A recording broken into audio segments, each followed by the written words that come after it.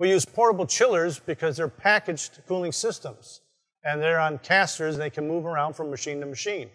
They operate their own refrigeration circuit when it's an air cooled or water cooled.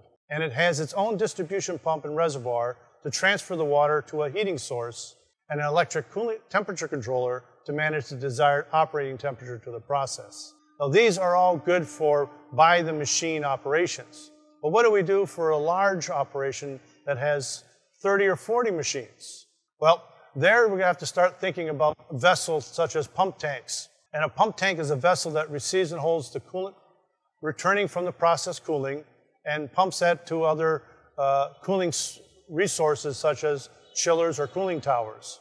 A pump tank offers several benefits to provide a constant level of sufficient net positive suction head to ensure efficient pump operation.